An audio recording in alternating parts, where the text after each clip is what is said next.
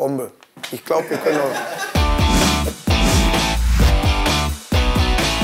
Es gibt solche Witze, äh, wo man immer sagt so, äh, äh, Mama, wolltest du eigentlich Junge oder Mädchen? Ich wollte mir eigentlich nur die Schuhe zu machen. So fängt das an. Aber es gab auch mal, dass ein, ein, ein Mann äh, äh, über die Pferderennen geht, hat das so ein bisschen erzählt und sagt, letztes Mal über Pferde, wollte mir einen Schuh zu machen, haben mir einen einen Sattel am Rücken getan.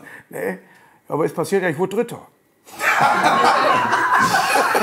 Ich mag ja wirklich so Knaller wie äh, die Tür öffnet Manuel. Danke, Manuel. Ich bin wieder dabei beim alten äh, Programm mal, wie ich besoffene Menschen loswerde, indem ich mit denen so dermaßen undeutlich spreche, dass sie im Gespräch nicht folgen können und ich lasse mich in Ruhe. Aber letztes Mal habe ich gesehen, da geht auch mit nüchtern. Wir haben ein Dartgerät angeliefert, mussten auf dem Bürgersteig parken, kam eine Politesse und sagte so, da passt kein Kinderwagen zwischen. Und ich sagte zu ihr, hören Sie mal, es sind fünf Minuten, dann haben wir gesagt, kaufen wir mal das Kinderwagen. Und sie sagte so, hm? Ich sage, nein, wirklich, wir machen okay uns Teil. Ja, aber wir haben auch von nichts in, in Disability. Ich sage, ne? Sagt sie, ja, wenn ich mich darauf verlassen kann. und zwar zwei Eskimos äh, äh, kommen äh, von der Jagd zurück. Sagt der eine, wo ist denn dein Iglu?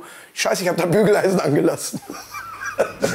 In dem Haus habe ich auch eine neue, Frau kennengelernt und äh, die ist eingezogen und ihr Hund, der hat mich genervt. Die ganze Zeit die Bellerei, ne? Und ich bei ihr an, hat sie aufgemacht, hat so eine Art Keuchhusten, also kein Hund.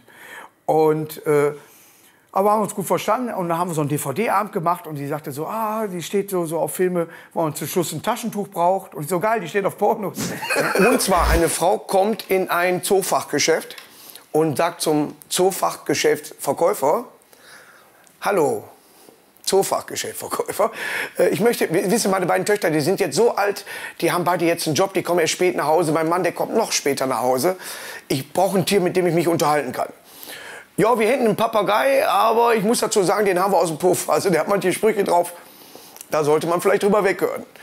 Was kostet der denn? Der kostet 30 Euro. Dafür nehme ich den mit. Nehmt ihn mit nach Hause, macht das Verdeck hoch. Papagei sitzt auf der Stange und sagt so, "Mm, neuer Puff. Neue Puffmutter. Irgendwann kommen die beiden Töchter nach Hause. Der Papagei, "Mm, neuer Puff. Neue Puffmutter, neue Nutten.